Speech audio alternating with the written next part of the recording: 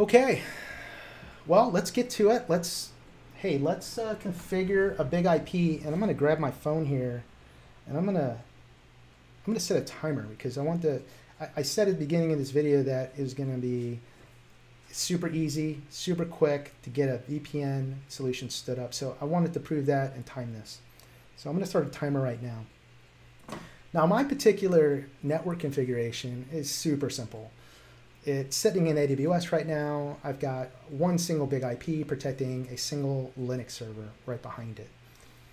Now, you may say, oh, dude, that's super simple. Well, conceptually, it's the same, right? We've got security groups, NACLs, and AWS. You would have a firewall, multiple firewalls in your on-prem, and then you've got a server farm, right? It's the same thing. I just don't have a server farm. I've got a Linux server.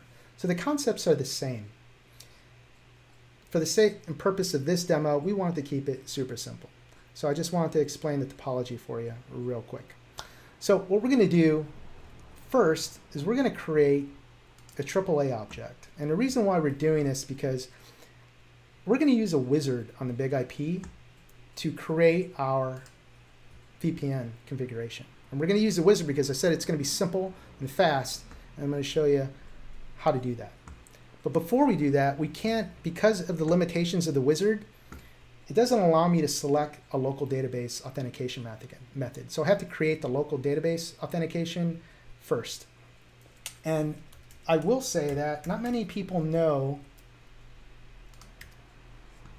that the big IP is capable of housing a local database for authentication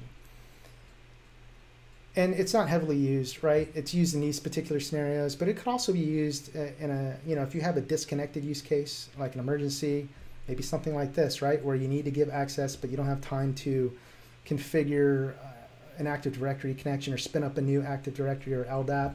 This will allow you to give temporary access and use this uh, database authentication method. So it's very handy.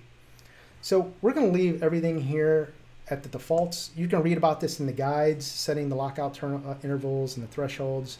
We're not going to mess with any of that. We're just going to create the database now, and then we're going to create a user for the database because we need a user to authenticate with. So let's create the user. We're going to call this user F5 admin, and let's give it a password.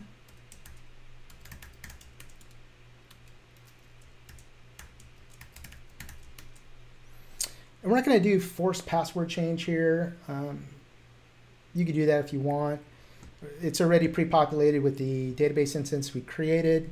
You could come in here and put some personal information. You could even create user groups if you wanted to. So you could create like a Linux user group or a Windows Server admin group, whatever you like. We're not going to do that. We're going to keep everything pretty simple here. And we're done. So we've got our database created and we have our user created. Super simple stuff, right? So let's go to our wizard. Let me just come in a little bit here, zoom in so you can see this. So when you hit wizard, it automatically populates with the network access setup wizard. And it gives you a description of, of what that is. And it's got some other wizards here too, like if you want to set up a, a web app, what we call a, um, LTM APM, which is basically just protecting uh, an application with authentication, you could do that. You could also do a portal access setup wizard where it uses the same type of web top, but it doesn't use VPN as a, as a VPN traditionally. It's what the buzzword is in, in the industry is a clientless VPN. This is where you would do something like that in the portal access setup wizard. But let's get started with our network access setup because I told you this is going to be quick and I'm, I'm burning time here. So policy name, we're going to name it VPN.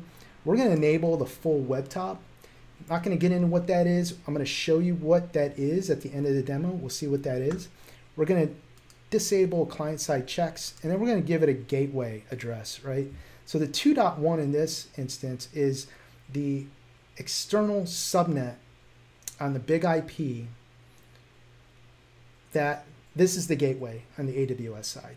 So 2.1 is the gateway that the external subnet on the self IP of the big IP will use to direct outgoing traffic.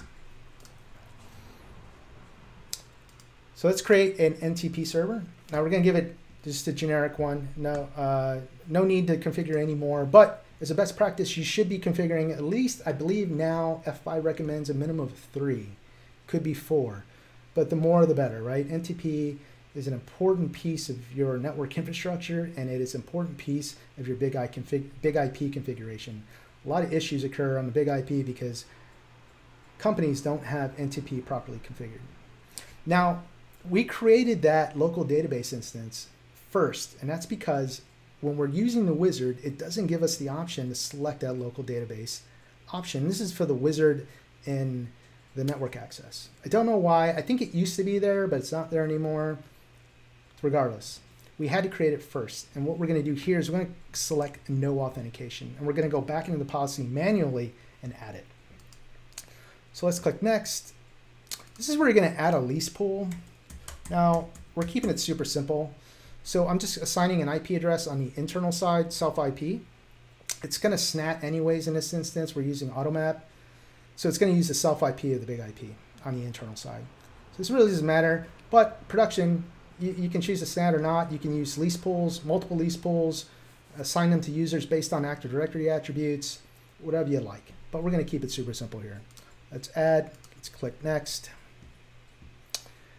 Once again, we're going to keep things simple. No compression. We're going to use a full, a full tunnel for our traffic. We're going to force everything through the tunnel. You could use split tunneling here, right? So we can add in our address LAN space that we want to allow access to. We can do things like allow local subnet. We can do client-side security, which if you check this, will prohibit routing table changes on the client machine if they're connected to the VPN, so an, ad, an added security measure. And then DTLS. So we're not going to get into that either, but I highly recommend you check it out because if you you may have a use case in your organization where you need to really optimize traffic, and DTLS is one one way to do that. So let's just keep force all traffic traffic through tunnel and click next. We're going to keep the the name server the same. Obviously, this is where you would configure all of that. Uh, you can set static host here as well. We're going to keep everything the way it is. And finally, this is where we're going to set our VIP, our virtual IP address. And this particular is a private IP. And this is NATed to a public IP that I have configured in AWS.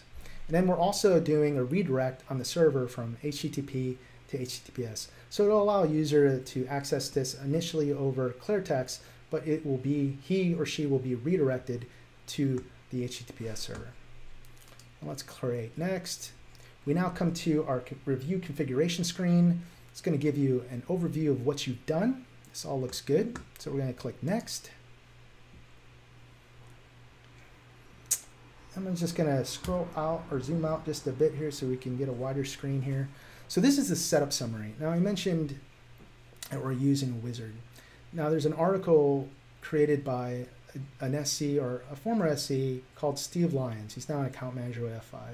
And he goes through this setup, a VPN setup, manually, meaning that you have to create the access profile, the connectivity profile, the web top, all of this stuff, right? And it requires, whether if you don't have a guide like he created, it requires some deep APM knowledge. If you don't have that knowledge or don't have his guide, using the wizard is an easy way to get this set up very quickly, like I just showed you. Basically, we're done. We've configured the VPN. Now we've got an extra step we got to do. We've got to add in that AAA object. For the most part, most of the configuration is done. So if we look here, we can see that it created the lease pool, created a web top, profiles, and even created our virtual servers. So pretty cool stuff.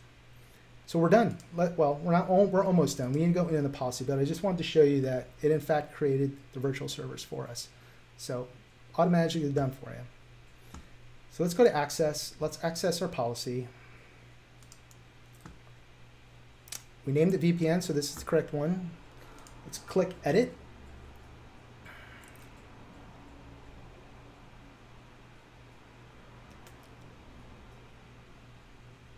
Okay, so this is our policy. This is the VPE or the Visual Policy Editor. This is where you configure your access policy. And it's very intuitive in the way that it flows from left to right. So you can imagine starting with our login page on the very left and moving through the policy to our resources, and then it's either an allow or deny.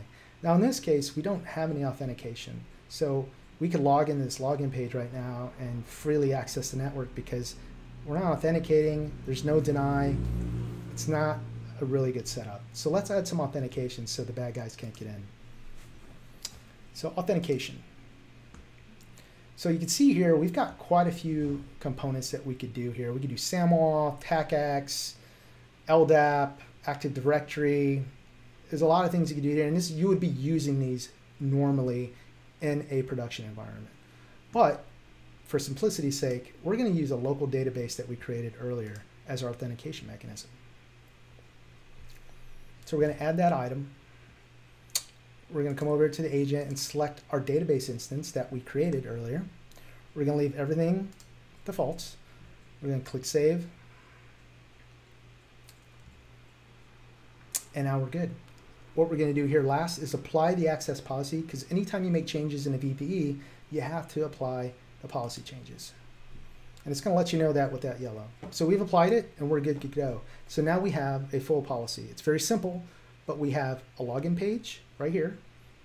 If you click on that, you can actually modify this to whatever you like. So we could add additional fields here if we want to, like a pin. If we had a hardware token, you can configure that here, right? You do a lot of different things. The VP is extremely flexible. So after we log in, we passed in our username and password is going to get passed to this authenticate our, our database that we created. And if we're successful, we're then going to be issued the resources. That's our web top and our VPN. And we're going to show you that in just a moment. And then we get allow, we get access to it. If we're locked out, we get a deny. If our password and username are wrong, we're going to fall back to this branch, which is deny. And we keep going until we either locked out or we successfully log in. All right, so that's it. We have configured